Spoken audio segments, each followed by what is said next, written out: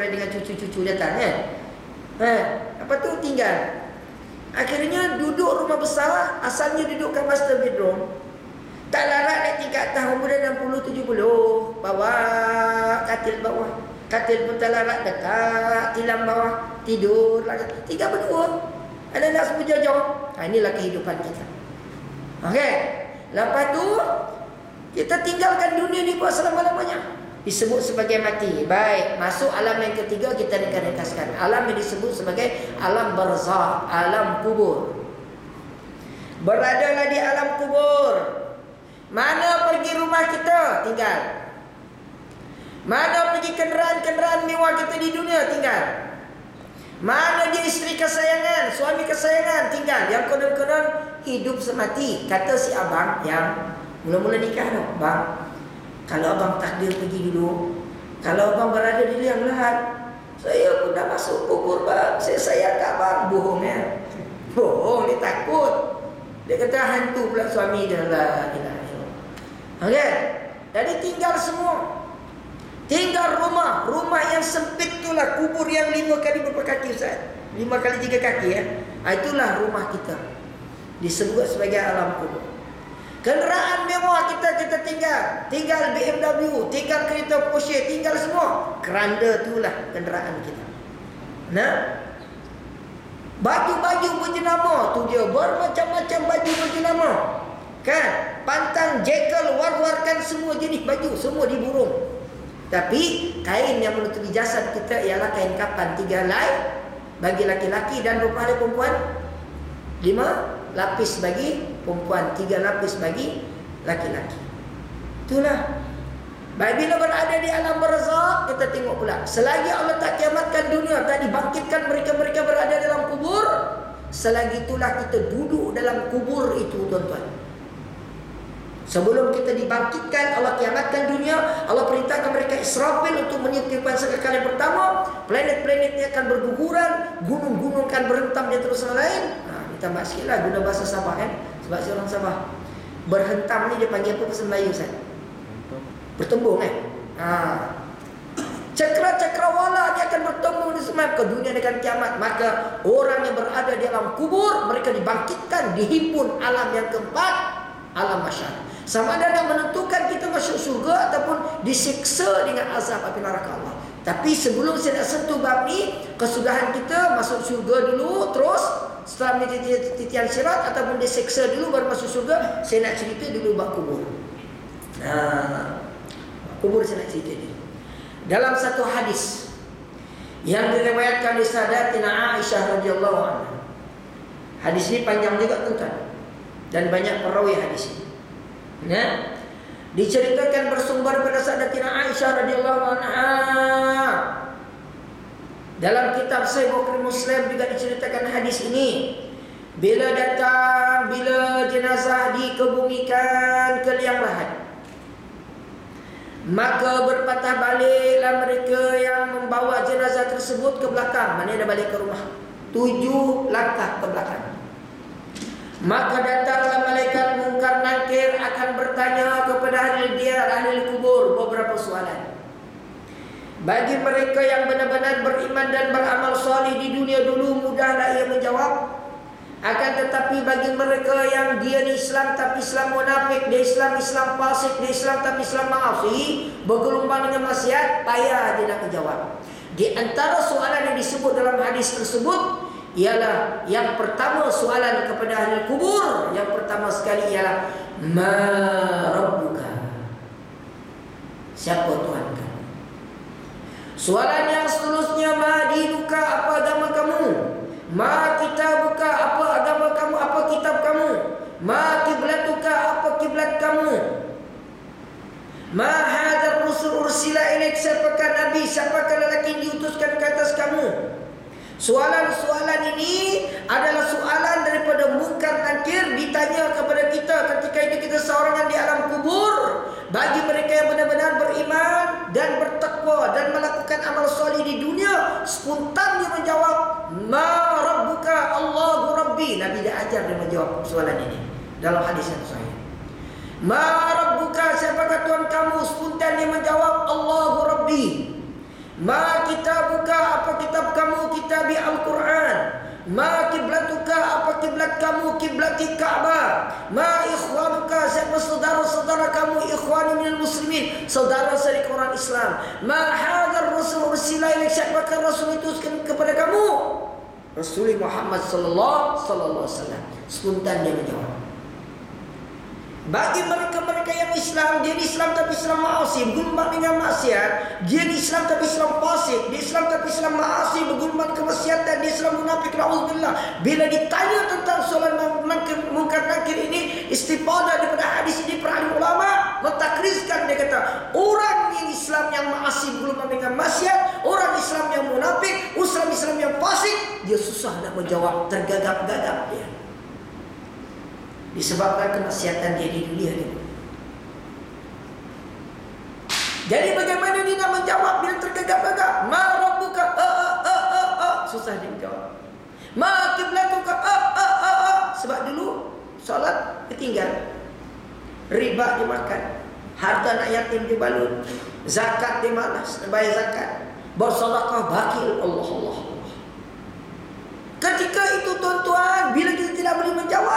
Tak ada ada WhatsApp. WhatsApp WhatsApp ni mana ada di kubur.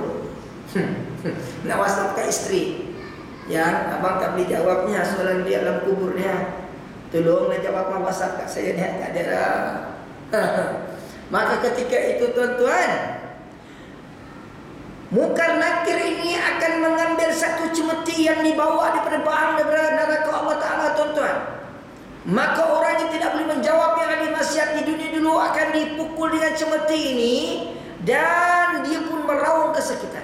Dia meraung kesakitan ni tuan-tuan. Didengari oleh depan dan belakang kiri dan kanan 40 orang ahli diar yang lain. Maknanya kesakitan kita tu rongan tu Didengari oleh kiri dan kanan depan dan belakang 40 orang. Sehingga kan diceritakan makhluk Allah Ta'ala di kalangan semut Segala yang melata dalam perut bumi yang berampiran dengan kubur kita ini terdiam tuan-tuan. Kerana mendengar rongan kesakitan kita. Allah. Dipukulnya kita tu tuan-tuan. Dan kita akan terbenam, terbenam ke perut bumi 70 kali hasta. Tetapi bagi mereka yang beriman dan beramal salih sementara dia menjawab. Dan Malaikat mungkar nakir ini datang dengan serba putih pakaian dia dan sangat beradab sekali. Tapi bagi mereka yang ahli maksiat mungkar nakir ini datang dengan serba hitam pakaian dia dan sangat garam tuan.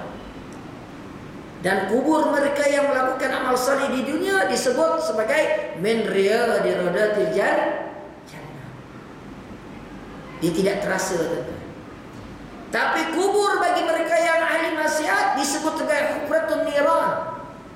Satu hari di dalam kubur itu tuan-tuan yang disebut sebagai hufratun niran sebagian daripada lubang-lubang neraka umpama satu ribu tahun di dunia. Cuba bayangkan. Berapa lama tu? Tu dia. Dan ada lagi dinyatakan bila mana seorang hamba Allah Ta'ala dia tidak boleh menjawab soalan mukar dan kira. Disebabkan dia meninggalkan solat di dunia dulu. Sebab dia ni sama ada malas ataupun ingkar tentang solat. Eh, solat tu wajib ke tak wajib? Wajib. Kan? Wajib. Amal soleh ni dia ada dua. Amal soleh yang wajib, amal soleh yang sunat. Amal soleh yang wajib, perintah solat, perintah berzakat, perintah berpuasa bulan Ramadan.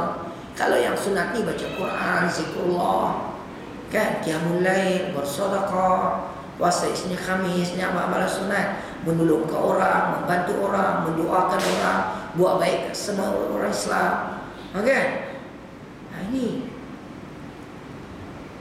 Orang yang tidak boleh menjawab persoalan mungkar nakir disebabkan satu benda dia tak buat di dunia. Dia solat, tak solat. Dia solat ni, main kadang-kadang dia tinggal itu.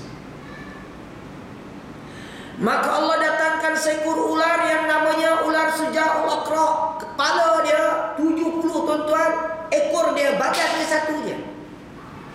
Bila mana hamba Allah Ta'ala dia tidak boleh menjawab persoalan tuan-tuan disebabkan dia ni meninggalkan solat di dunia dulu.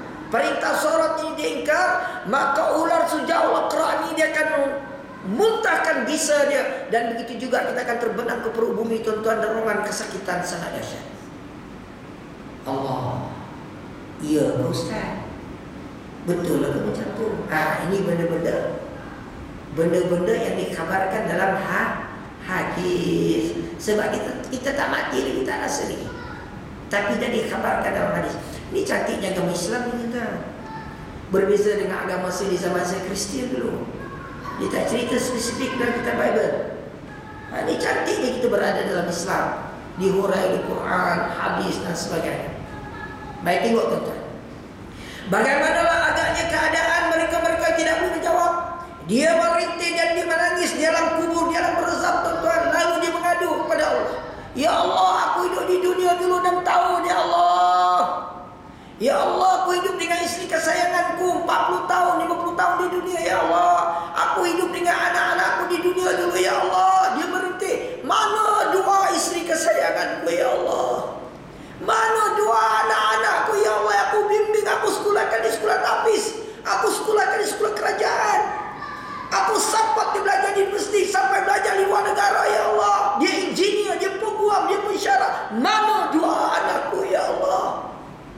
sebab beruntunglah seorang suami yang ditinggalkan isteri kesayangan dia. Suami yang saleh, isteri yang soleha. Suami meninggal, isteri yang hidup di dunia sentiasa mengkhatamkan Al-Quran 30 zuzu. Isteri yang soleha, dia ambil duit peninggalan suami dia. Dia cari anak-anak yatim. Dia cari madrasah-madrasah tafis. Dia cari surah dan masjid. Diimpakkan duit peninggalan suami. Dibayarkan zakat. Dibuatkan badal haji. Allah, Allah, Allah. Beruntunglah seorang ibu dan seorang ayah Jasa terakhir bagi seorang anak memandikan jenazah. Laki-laki memandikan jenazah ayahnya. Yang perempuan memandikan jenazah ibunya Allah. Anak-anak yang soleh-soleh di dunia. Dia tahu maknya meninggal. Sentiasa baca Quran 30 susu. Hadiah pahala untuk ibunya berada dalam bersama. Dia ambil duit daripada gaji dia. Wakafkan untuk bina masjid, bina madrasah. Dia pahala kepada mak dan ayah.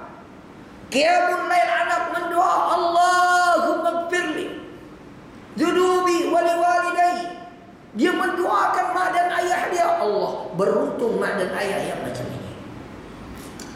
Tapi sayang dia merintih Mana dua anakku ya Allah?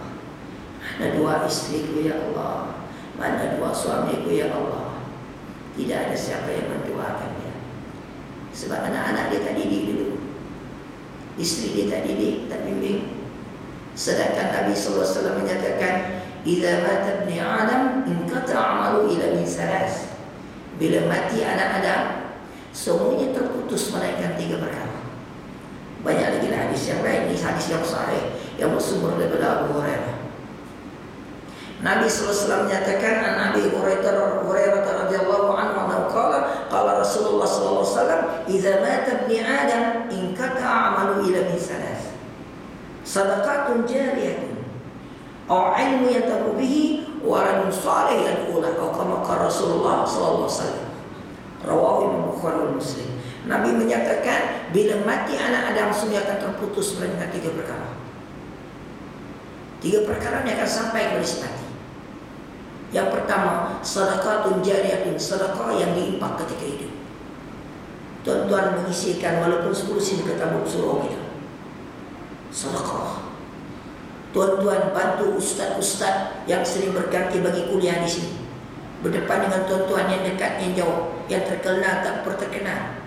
Yang tuan-tuan suka atau tuan-tuan tak suka. Ada ustaz tu garang sikit. Ada ustaz tu dia lembut sikit. Ada ustaz tu ceramah dia mirip politik sikit. Ada ustaz tu dia suka nyanyi-nyanyi Terserah pada tuan-tuan lah ha, kan? Last sekali ustaz pun kata Saya mohon jemaah sekalian Saya ada buat tabung di luar Orang wakaf. Saya ada bawa buku-buku saya Kismis, minda lah. Apa-apa yang ustaz tu bawaan Tuan-tuan bantu. Kalau tak dapat bantu Doakan ustaz. Pahala. Sedekah. Yang kedua Apa dia? Al-ilmu ilmu yang bermanfaat. Yang disibarkan. Tuan-tuan dengar perkongsian ilmu malam ni, tuan-tuan saya lagi balik. Balik ke rumah, jumpa dengan anak. Jumpa dengan siapa dia di rumah. Tadi mak, ayah duduk kat kuliah Ustaz Farhan. Ustaz Farhan tu yang sabar tu, saudara malam mualaf tu. Hmm. Ha, ceramah disuruh kita. Dia cerita bab mati. Dia cerita tentang amal-amal soleh kita bawa. Tuan-tuan sampaikan kepada anak, ceritakan kepada suami isteri, tuan-tuan dapat ilmu yang bermanfaat yang disifatkan. Kemudian waladun soleh adalah anak yang soleh mendoakan kepada mak dan ayahnya. Itu sebab makcik, kak, pesan ke anak. Nak, esok kalau mak mati, biarlah kamu mandikan jenazah mak ya, jangan takut. Pesan ke anak. Yang laki yang bapak-bapak pesan ke anak laki-laki. Esok kalau abah, kalau ayah meninggal, biar kamu orang yang laki-laki ini mandikan jenazah ayah. Ya, pesan saya sehat. Biar anak itu berjasa kita. Kan? Maka dalam keadaan sedemikian tuan-tuan rintihan kita tu didengari oleh Malaikat kiraman katibin. Lalu malaikat kiraman katib menyampaikan kepada Allah subhanahu ta'ala Bila mana kita merintih Ya Allah aku hidup di dunia dulu. Mana doa anakku Mana doa istriku Ya Allah. Ya Allah aku hidup di dunia dulu 60 tahun bang Takkan satu amal salih pun kau tak terima Ya Allah aku punya solat Aku punya kiamulail Aku punya zakat Aku punya sedekah Ya Allah. Takkan satu pun kau tak terima Ya Allah Allah subhanahu ta'ala Dengari kerintihan kita. Maka dengan takdir Allah Ta'ala Allah datangkan amal salih ini tuan-tuan Dengan rupa seorang laki-laki yang sangat tampan. Diceritakan istimbat daripada hadis ini Amal-amal salih akan datang dengan izin Allah Ta'ala Setelah kita kesorangan di alam kubur Kita dalam keadaan diseksa Kita dalam keadaan dihisap, diazab. Kita berdoa kepada Allah dengan penuh tawadu Ya Allah, aku hidup di dunia dulu Ya Allah. 60 tahun ya Allah Kalau jengking kiri dan kanan ya Allah Andai-andai cacing semua nak makan tubuhku ya Allah. Isteri aku tak ingat ya Allah Anak-anak tak ingat aku ya Allah. Ya Allah Amalku di dunia takkan satu buku tak terima ya Allah Dengan rahmat dan izin Allah SWT mendengar rintian kita Allah SWT datangkan amal-amal saleh kita itu umpama seorang laki-laki yang semua putih pakaiannya harum semerbak dan mukmur seri-seri. Dia datang kepada kita tuan-tuan. Seorang hamba Allah Ta'ala mendekati kubur kita ini dengan memberi salam. Assalamualaikum ya bulan. Kita pun jawab salam dia. Di kiri dan kanan dia bersinar tuan-tuan ada cahaya.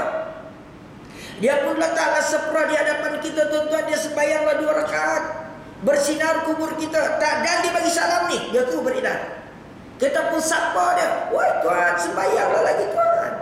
Tuhan sembahyanglah lagi kubur aku bersinar Tuhan pasal Tuhan sembahyang cepat sangat Tuhan sembahyang lagi Tuhan dia menjawab spontan macam mana aku nak sembahyang banyak inilah yang mulai yang kau buat dulu setahun sekali seumur hidup kau Allah Datang lagi seorang hamba Allah ni tuan-tuan dia menjawab salam sama juga serba putih pakaian dia hamus semerbak muka dia berseri-seri Membawa dua beberapa makanan di sebelah kanan dia makanan di sebelah kiri dia minuman. Dia menghampiri kubur kita memberi salam. Assalamualaikum ya pulang.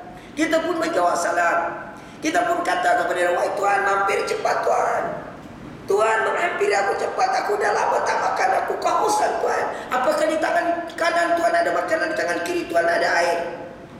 Dia pun menghulur kita makanan tu Tuhan Kita santap makanan tu Makan dengan rakus Minum dengan rakus Lalu kita kata Wah Tuhan kenapa sikit sangat Tuhan Aku lama tak makan Lama tak minum ni Tuhan Kenapa sikit sangat yang Tuhan bawa ni Dia pun selamba menjawab Wah Tuhan Bagaimana aku nak bawa banyak Inilah sedekah yang kau bakhil ketika hidup Allah Begitulah keadaan yang seterusnya tuan-tuan Zikir kita akan datang, sedekah kita akan datang, fikiratul Quran kita akan datang dengan izin Allah. Bagi mereka sedang berselawat kata Rasulullah SAW dengan izin syafaat Rasulullah SAW pula Allah. Ini kepentingan amal-amal saleh dengan izin Allah. Maka diringanlah seksa kita berada di alam kubur. Lalu Allah kiamatkan dunia ini. Allah kiamatkan dunia ini dan alam yang terakhir. Sama ada kita masuk surga ataupun disiksa dengan neraka. Allah Ta'ala dulu baru kita masuk surga itulah alam yang disebut sebagai alam masyar alam perhitungan yang terakhir. Baik. Alam dalam rahim seorang ibu selesai. Lama dah kita tinggal alam dunia dah selesai dah. Alam yang ketiga alam berzak alam kubur dah selesai. Saya dah cerita katanya Masuk alam yang keempat Alam masyar. Kita ingatkan dah selesai dah. Kakak-kakak ibu sekalian tak selesai lagi. Dia ada empat checkpoint. Apabila kita berada di pada masyar Diceritakan daripada riwayat Sadatina Aisyah radhiyallahu an. Ini hadis ni hadis kursi. ya. Ketika Nabi wasallam baki hidup 40 hari 40 malam. Nabi dalam keadaan kering. Dan ketika itu Nabi wasallam berada di rumah Sayyidatina Aisyah radhiyallahu anha. Nabi berada di pembaringan diceritakan dalam hadis itu Nabi berada di peha sebelah kanan Sayyidatina Aisyah. Dan Aisyah pegang ubun-ubun belai Nabi. Ha, itu sebab disunatkan. Disunatkan kalau kita nak baring dekat isteri kita, disunatkan baring di sebelah peha kanan is isteri. Saya lagi balik buat eh. Ha, walaupun saya kata buat tadi yang pula abang ni. Ha, dengan ceramah mana? Dengan ceramah perusahaan. Yang ibu-ibu pula disunatkan berbaring dekapan dada suami suami dekat sini. Ha, isteri baring dekat sini, kita dekap dia. Ha, ini sunnah ni. Ha, kan dekap sapu bau isteri kan, tu ubun-ubun dia. Maka ketika itulah Nabi berada di pembaringan tu, Nabi pandang muka Sayyidatina Aisyah. Nabi wasallam pandang tu dengan pandangan Nabi senyum dan menitiskan air mata. Allah. Maka ketika itulah Sayyidatina Aisyah radhiyallahu anha bertanya kepada Nabi sallallahu alaihi wasallam, "Ya Rasulullah, engkau dalam keadaan gering, keadaan sakit macam ni, apakah yang terlintas dalam pikiran ya Rasulullah?" Maka ceritakan kepada Maka Nabi sallallahu alaihi wasallam kata Nabi sallallahu alaihi wasallam, Aku memikirkan keadaan umatku di masyarakat Sama ada mereka lulus ataupun tidak dalam bab perkara ini. Allah Tengok fikir Nabi Sampai Nabi dalam keadaan gering Dalam keadaan Nabi sakit pun fikir tentang umat yang di zaman. Bagaimana kita? Hebatnya Nabi SAW Nabi menceritakan betapa peri, betapa perih kesengsaraan mereka berada di padang masyarakat Nabi ceritakan kepada Sayyidatina Aisyah radhiyallahu anha ketika itu ya Aisyah mereka berada di pada masa pada pada masyar yang sangat terlalu luas sejauh mata memandang manusia dihimpunkan dan mereka dalam keadaan bertelanjang dan matahari sejengkal di atas kepala dan mereka berlaut, berada dalam lautan peluh Nabi mengisyaratkan lautan peluh di sebelah sini dada ketika Nabi mengisyaratkan Nabi SAW menyatakan manusia dalam keadaan telanjang spontan Sayyidatina Aisyah radhiyallahu anha bertanya ya Rasulullah Adakah laki-laki dan perempuan melihat orang antara satu sama lain? Nabi kata ada ada ya Aisyah. Masing-masing nak menunggu berbaris ni nak tunggu paparan skrin tu. Paparan skrin ni mereka yang beruntung di paparan skrin yang banyak amal soleh dia banyak. Maka dia pergi poin yang kedua pula. Mizan timbangan amal. Beruntunglah mereka timbangan mizan dia tuan-tuan. Ya, berat amal soleh dia. Bukan mizan di pada masa ni bukan mizan yang lambang dacing biru tu kan. Yang lain.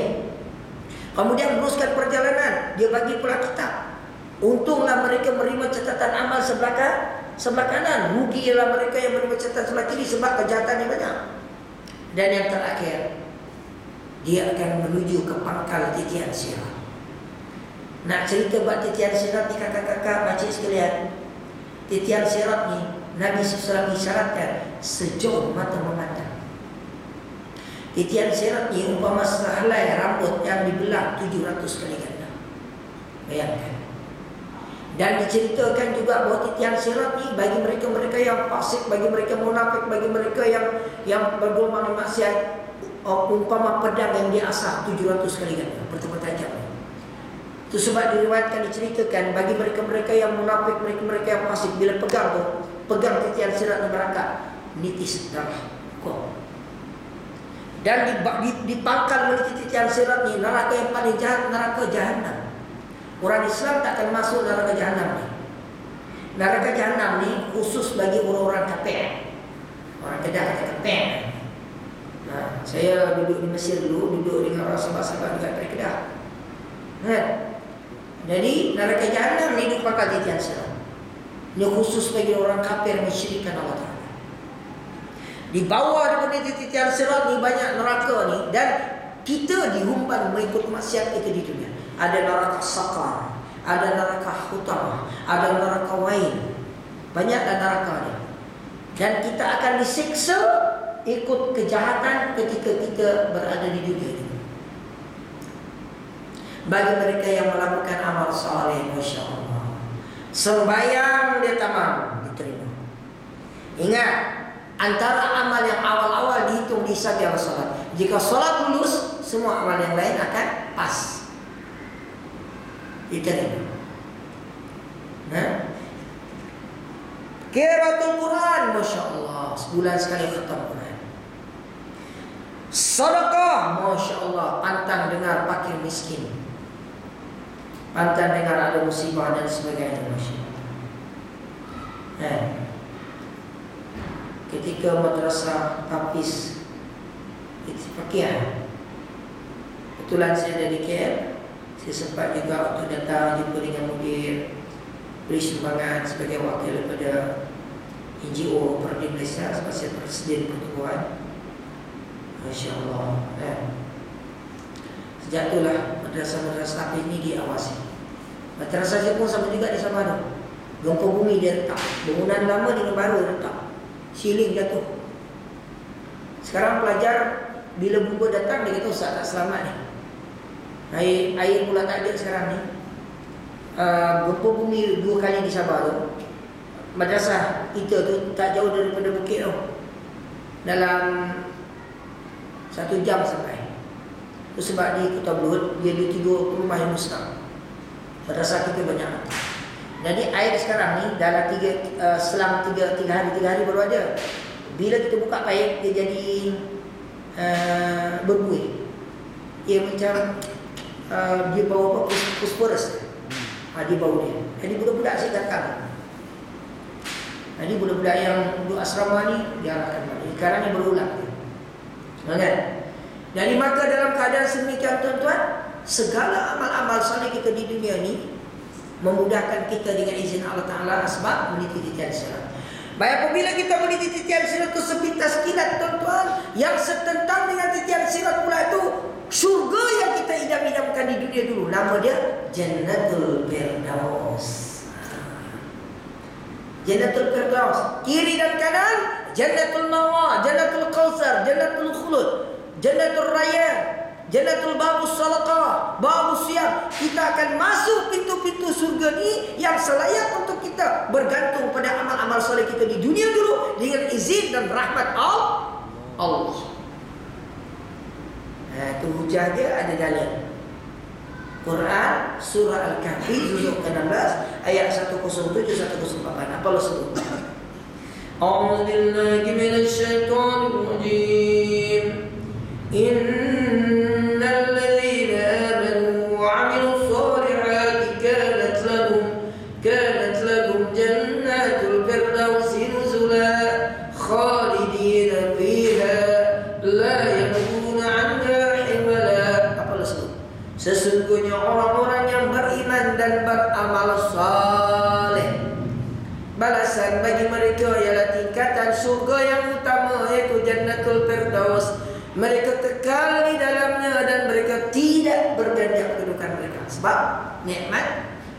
dalam syurga.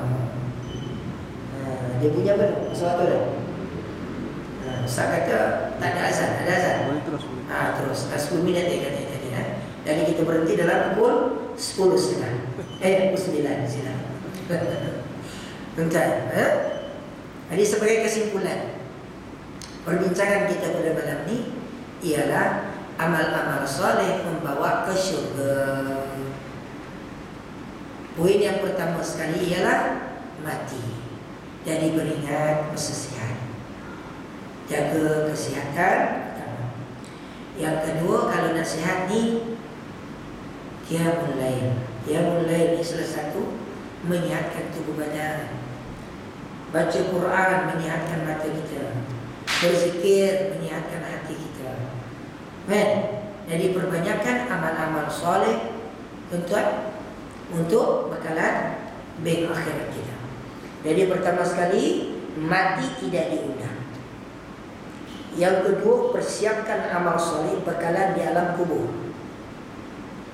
Yang ketiga apa dia amal soleh? Di antaranya solat. Jaga solat. Lima waktu sehari. Fadilat solat sangat hebat. Apa fadilat solat?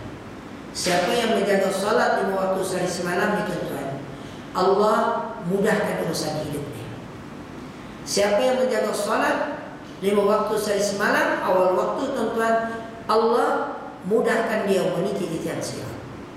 Siapa yang menjaga solat waktu sehari semalam tuan-tuan Allah lepaskan dia bersiksa kubur. Siapa yang menjaga solat waktu sehari semalam Allah murahkan rezekinya. Siapa yang menjaga solat waktu sehari semalam tuan-tuan Allah selesaikan kehidupannya.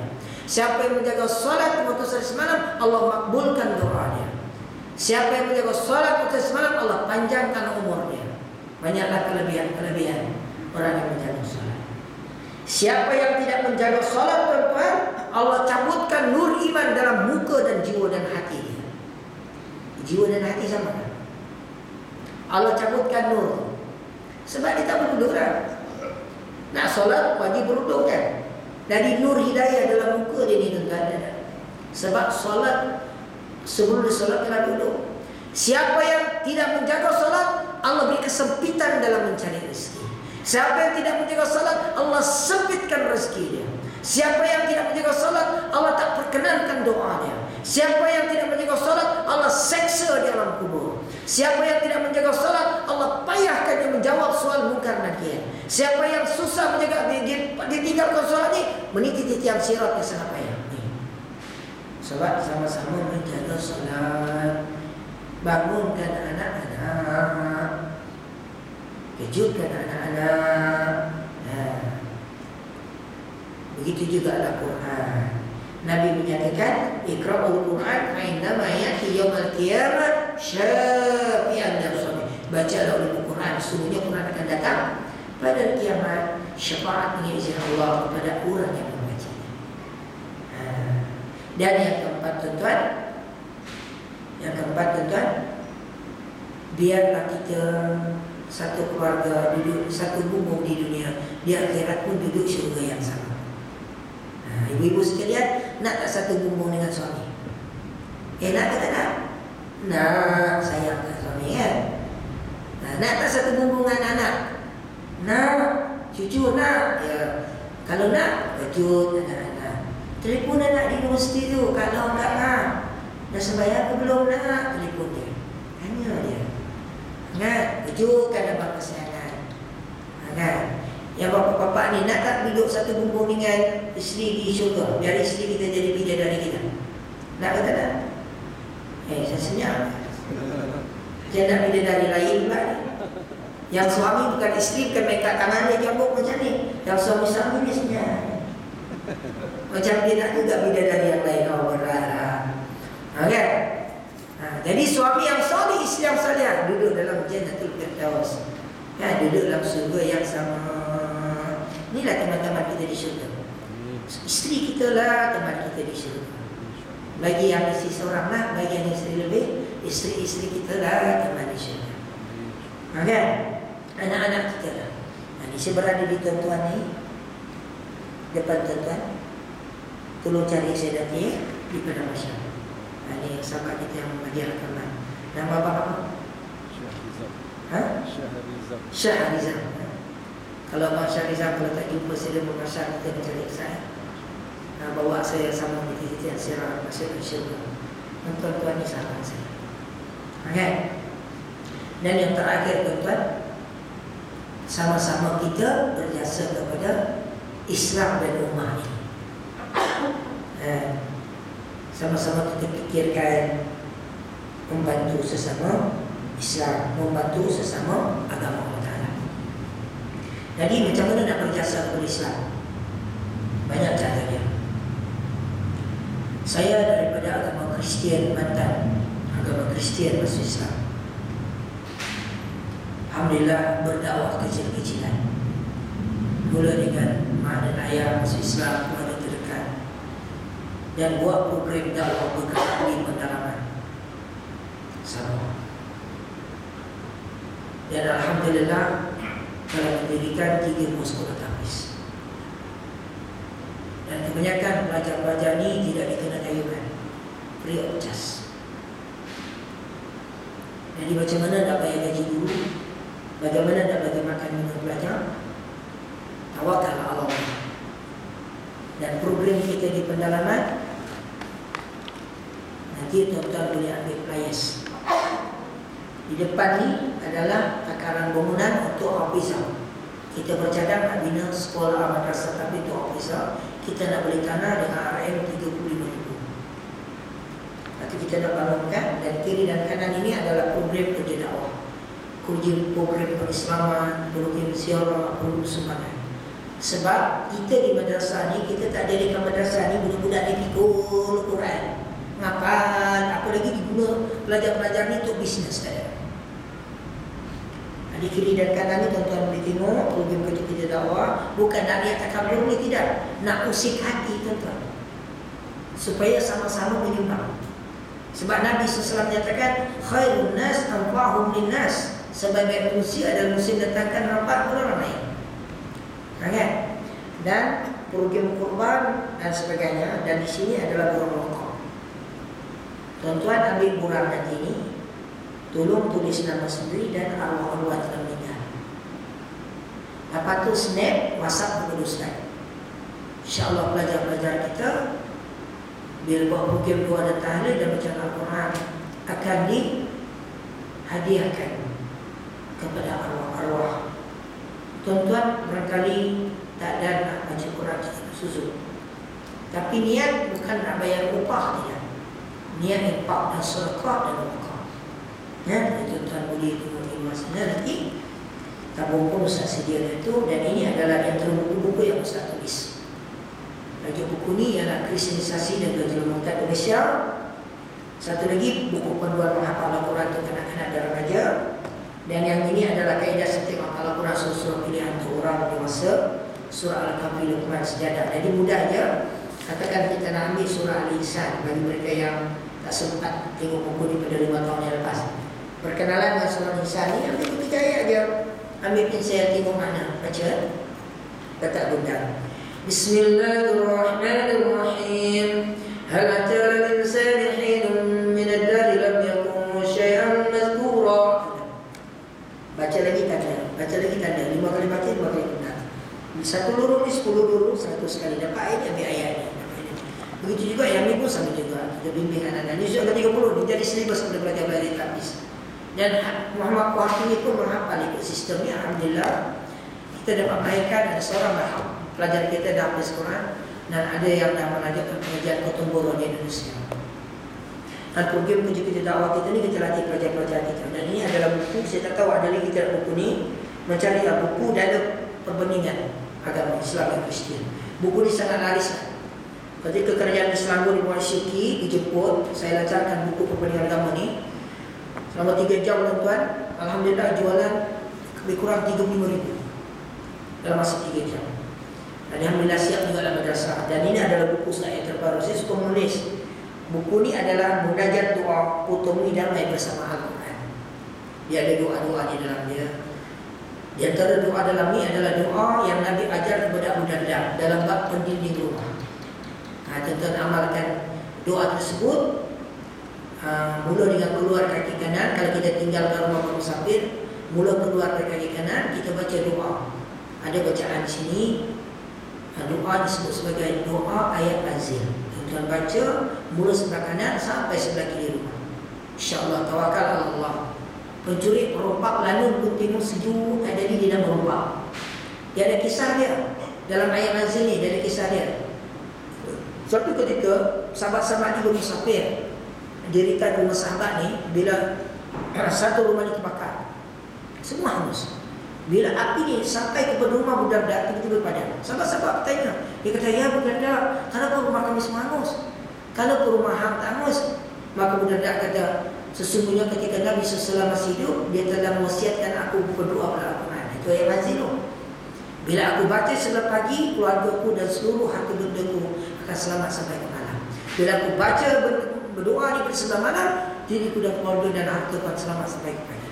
Dan kita sama-sama lah beramal dengan Quran dengan izin Allah. Jadi buku-buku ni ada di luar sana. Satu set ni tak mahal tuan. Seratus ringgit Satu ringgit saja. Dan bagi mereka yang tak ada duit, kalau rumah dekat, Ustaz tunggu setengah jam ambil duit. Sebab gaji guru, gaji guru pun dah dua bulan tak bayar. Masuk dua bulan dia tak bayar.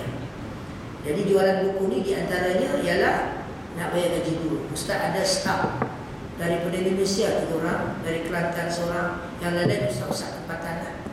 Okay. Daripada masa yang sama untuk dalam kerja-kerja dakwah kita insyaAllah. Jadi, tuan-tuan membantu kita buat kerja amal, kita buat kerja dakwah sama pahala di sisi Allah Taala. Ya, maafkan saya. Tuan-tuan doakan agar ramai di kalangan mereka daripada selain daripada bangsa Melayu masuk Islam. Tuan-tuan doakan ustaz-ustaz ni supaya dia beri kekuatan untuk buat kerja dakwah. Sebab saya sebagai pengurusi persekutuan saudara baru ni ramai di saudara baru ni yang kekuatan dia susah sikit ada yang nak dibunuh oleh keluarga, ada yang nak dihalau kan. Itu sebab kadang-kadang di madrasah saya itu kita ambil apa di kalangan saudara baru duduk sekejap walaupun penginapan kita duduk tiga rumah aja kan sian. Kan ada kita ambil untuk kerja. Jadi bayangkan. Jadi susah sebenarnya nak mencari saudara-saudara muslim yang uh, mendirikan sekolah agama ni. Dan juga apalagi kalau terlibat dengan usaha dakwah. Memang susah tekanan hebat. Kita sendiri di Sabah pun banyak juga tekanan-tekanannya. Ha? Jadi mudah-mudahan dengan pemerintahan yang baru ni di bawah Datuk Sri Syafiq Abdul daripada Parti Warisan ni madrasah-madrasah ni dapat dibangunkan peruntukan-peruntukan diadakan sebab sebelum ni saya memohon kita memohon juga ha, dari pengurusan apa pemerintah sebelum ni tanya Ustaz ni parti apa ni? Ha, tanya pula parti apa. Ha, kan? Ha, jadi macam-macam lah kekangan dia. Ha, sehingga kita khutbah di masjid negeri pun, oh, Ustaz ni turun daripada khutbah, dia tanya pula. Ustaz orang semenanjung ke orang Sabah? Saya bilang, saya orang Sabah bayi ni Datuk. Bukanlah dia bilang, kau gaya-gaya kau macam di Kelantan saja. Ha, kau punya khutbah pun panas. Serban pun macam tu guru. Ha, ha, jadi dia tidak tahu kita lewat. Jadi macam-macam macam barang dia. Tapi kalau di Semenanjung banyak bantuan. Pantang madrasah terbakar. Berduyun-duyun dia datang kan.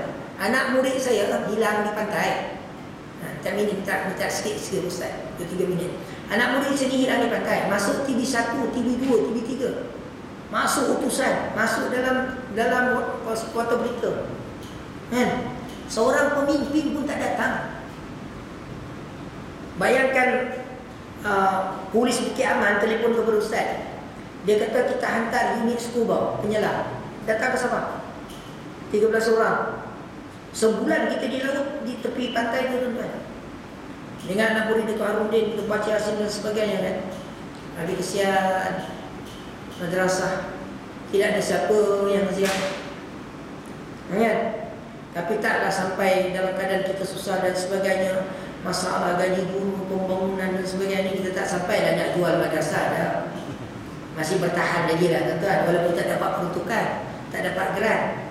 Saya jual buku je lah, tawakal. Kan? Dan saya pergi ceramah di mana-mana pun saya tak bayar.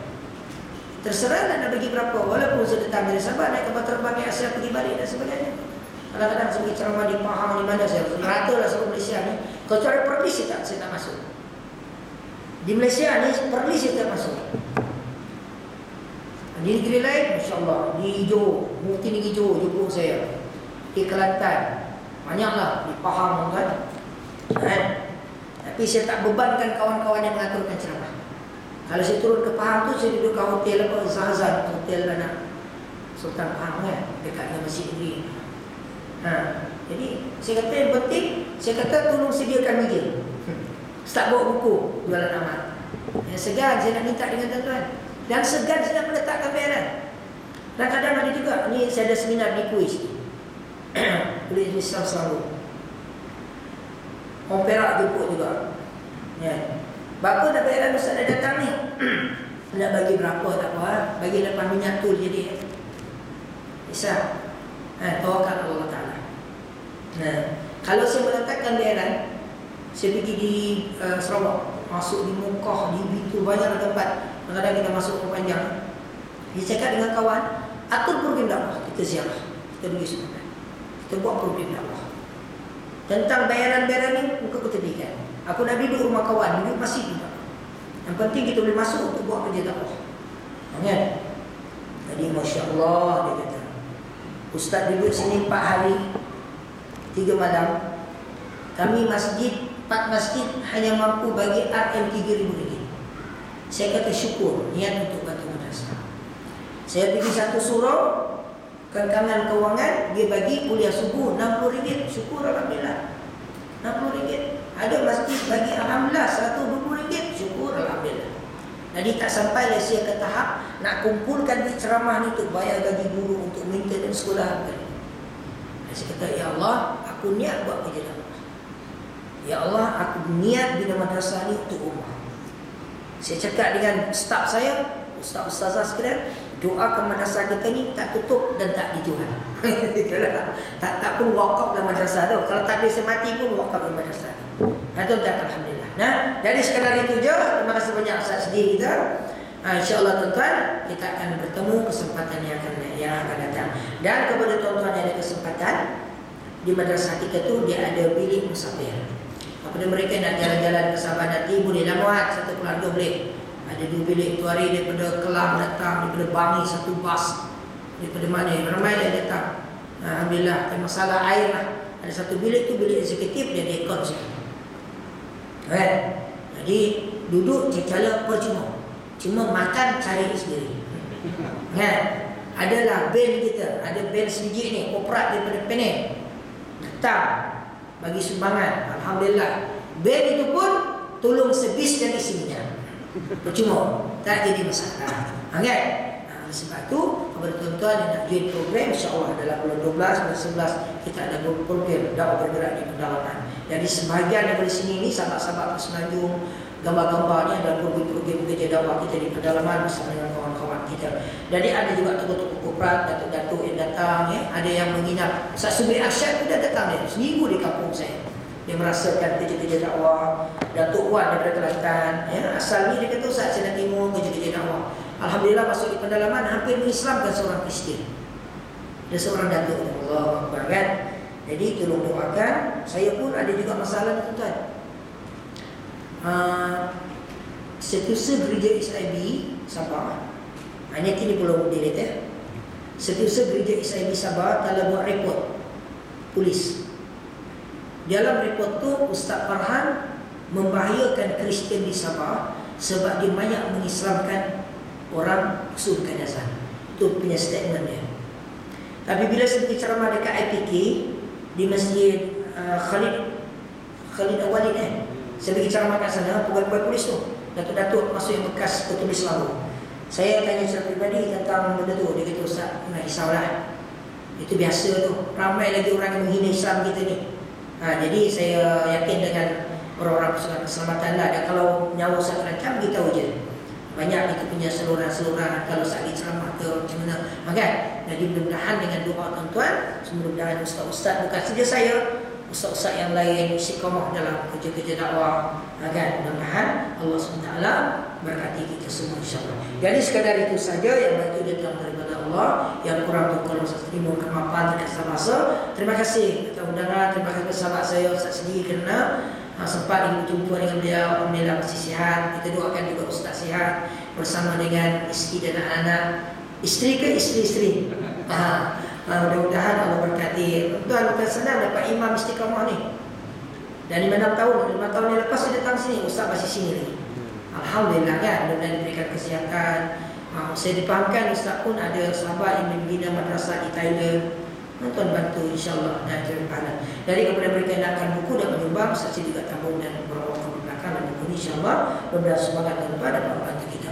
Wabillahi taufiq wal hidayah. Assalamualaikum warahmatullahi أعوذ بالله من الشيطان الرجيم بسم الله الرحمن الرحيم. اللهم زدنا علما نافعا وارزقنا برحمتك يا أرحم الراحمين. اللهم اجعل حاجنا مرحوما وتقر كلمتك معصوما وصلى الله على سيدنا محمد وعلى آله وصحبه وسلم. والحمد لله رب العالمين. تقبل الله منكم. إنا لكم تقبل يا كريم تكبير. الله أكبر. تكبير. الله أكبر.